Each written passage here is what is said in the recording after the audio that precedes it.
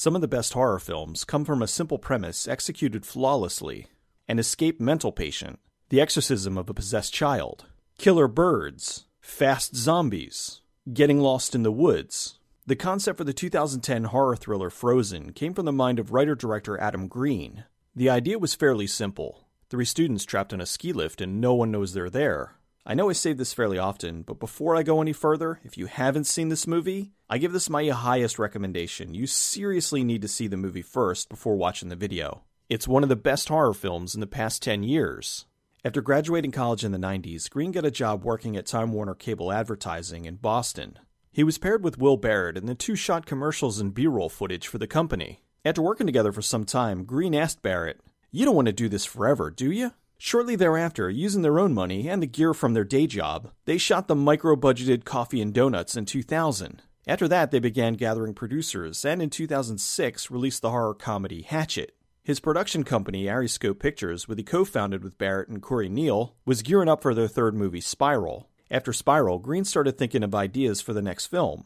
While this was going on, he signed up to produce the bizarre horror drama Grace. One morning, Green was watching the news. They ran the weather forecast, and the background image was chairlifts at a ski resort. He was reminded of how much he used to ski when he was younger and how scary it was to be on the chairlift due to his fear of heights. He grew up on the East Coast, and the mountains where he used to ski were only open on weekends. It was entirely plausible that someone could be unknowingly left up there on a Sunday with no one to save them until the following Friday. He contacted his friend Craig Borden, who loved the idea. Initially, they thought they could self finance the picture. It's just three people in a chair. How hard could it be? After some time looking at the logistics and insisting the entire thing be done practically, they decided it was beyond the scope that they could afford and would need some additional financing. Green wanted to work on the script, but had to head out to Canada to produce Grace. While he was on set every day, the times when he wasn't needed, he was off writing the script for what would become Frozen. By the end of the shoot, he had a solid first draft. He contacted Peter Block, a producer he had worked with previously. Block had just left Lionsgate to form the production company, A Bigger Boat, Block loved the idea and wanted to fast track the film to get it in production soon. In October of 2008 was when a bigger boat signed on to produce, and by December, they were already location scouting. When casting, Green insisted they go with, as he put it, terrific actors, not terrific names. He was more interested in getting a stellar performance than getting a better known actor attached. For the main cast, they needed two guys and a girl. The first person audition was Emma Bell. She was so good, they said she set the bar, and after weeks of auditions, no one else came close. Green knew actor Kevin Zegers, who read for the part of Dan. While Zegers was not largely known, he was a very established actor who's been working in the industry since 1992. They hired Zegers, who suggested they take an audition from Shawn Ashmore. Ashmore and Zegers had been friends for years, so when they did chemistry reads, the two acted naturally. Green knew in order for the film to work, it had to be done practically. That meant no sets, no green screens, just three actors 50 feet in the air on a ski lift. They went to Utah and checked out various lifts in various mountains, but none of them felt right. Greenwood read the lifts and at different parts thought, could I jump from here? None of them were quite perilous enough. Finally, he was on a lift with Will Barrett on Snowbasin Mountain in Huntsville, Utah. The lift was one from the 70s that was no longer in use. While going up the mountain, they reached a certain precarious point, and Green said, This is where they died. At that moment, the lift stopped moving. They were freaked out. The spot was a treacherous 50 foot drop, and they didn't tell anyone to stop the lift. After a few minutes, it started moving again, and they made it to the bottom of the mountain. They spoke to one of the employees, who informed them that some time ago, a guy committed suicide on the lift, and the spot they stopped was the spot he died. He even showed them the chair with the bullet hole in it. They knew they had their location. Pre production continued in January of 2009. They moved the giant crane they needed to hold the camera up the mountain. They built platforms for the equipment as well as a base for the crane. They brought dozens of trees up to help conceal the equipment. This was incredibly time consuming because they had to lug all of this equipment a quarter mile up the mountain.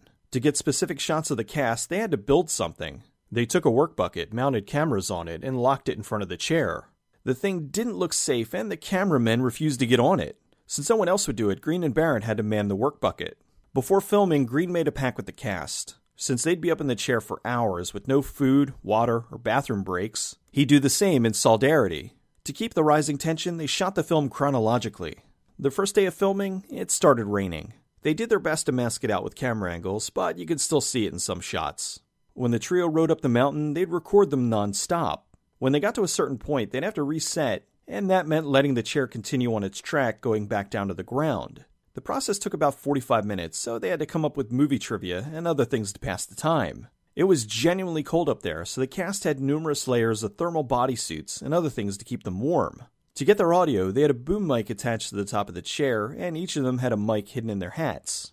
To let the audience know the film was taking place in New England, they frequently showed the Newbury Comics sign. Like all of Green's movies, Frozen was loaded with references, cameos, and in jokes. They called the mountain Mount Holliston, which was a fictional mountain named after Holliston, the town where Green grew up. The three leads were named after his friends. Ashmore was Joe Lynch, named after the director Joe Lynch. Zegers was Dan Walker, after spooky Dan Walker. And Emma Bell was Parker O'Neill, after director Dave Parker. The missing poster was a dig at BJ McDonnell, his Steadicam operator. He couldn't make it to the shoot because at the time he was working on Rob Zombie's Halloween 2. A Christmas Story and Star Wars are two of the director's favorite movies, so he tries to squeeze references to them in every film. That's easy. Sarlacc pit. Every year, Adam Green and Joe Lynch would do a short film as the Douche Brothers called the Road to Fright Fest, a huge annual film festival that focused on horror. Each short was a spoof on a famous horror scene. In the movie, two of the pissed off skiers are Green and Lynch as an homage to the Douche Brothers. The girl Joe's interested in is Rileah Vanderbilt, Green's fiance. They were married after filming, but divorced in 2014. And that's Will Barrett in a cameo. Kane Hodder was the stunt coordinator, as well as the guy driving the snowcat. The guy in the Twisted Sister shirt was Schneiderman, the production assistant. His real name's Cody Blue Snider, the son of rock legend Dee Snider. Speaking of which, Dee Snider's the voice of the guy who says, Joel David Moore, who Green worked with on Hatchet, was the voice telling Hodder to come in. Come back to base so we can get the hell out of here.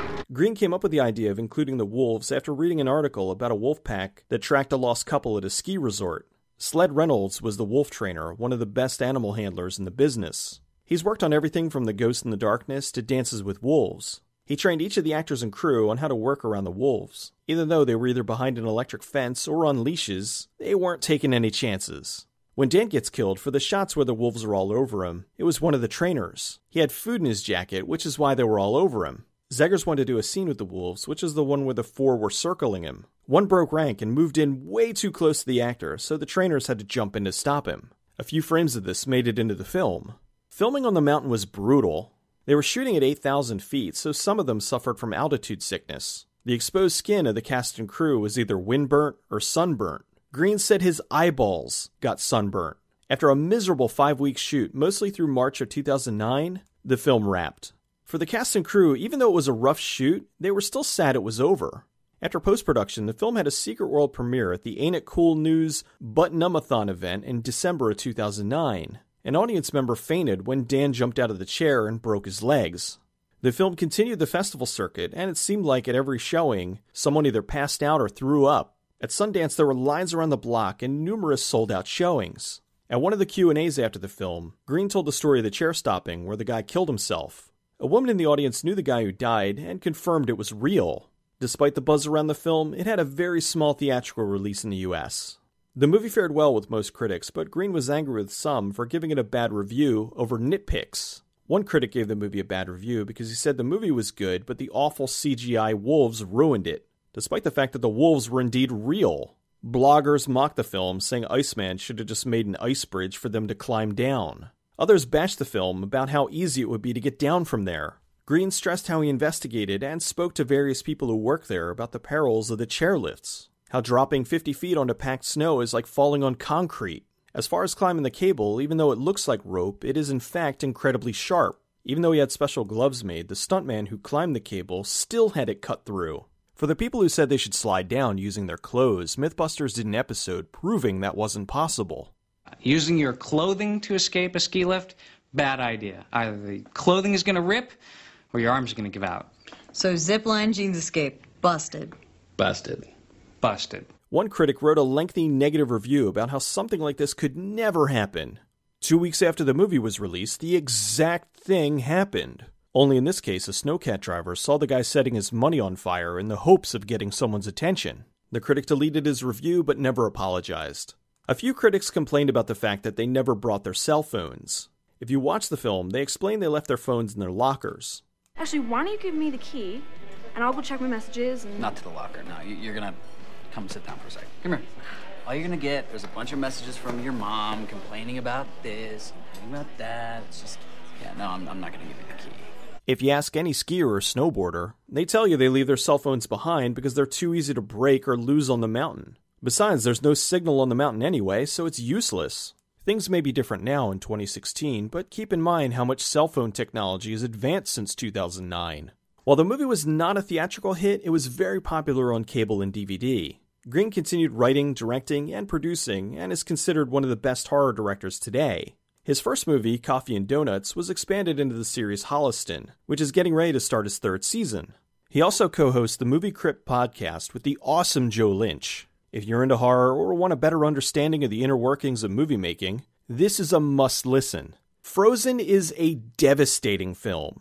It goes to show just how quickly things can go from lighthearted fun to complete disaster. It also reminds us just how fragile and vulnerable we are to nature. Green's writing, directing, and inventiveness really shine through. Having a movie that's essentially one location the entire film is very tricky to pull off. All three of the actors gave outstanding performances. With the acting being on location rather than a set, it greatly helped with their performance and really made it feel like they were going through this horrific ordeal. As for all the nitpicks, people make mistakes when they're in dire situations. Some kids from the suburbs don't instantly become survival experts overnight. While the horror fans have seen the film for the excellence that it is, part of me's irritated by the bullshit reasons people came up with to bash the film. Green said if he could, he'd create a reality show called Shit Talkers, where he'd take all the people who nitpicked the movie and put them in the exact same situation. If they got out, they'd win $100,000. Most would probably piss their pants, and the rest would die stupidly.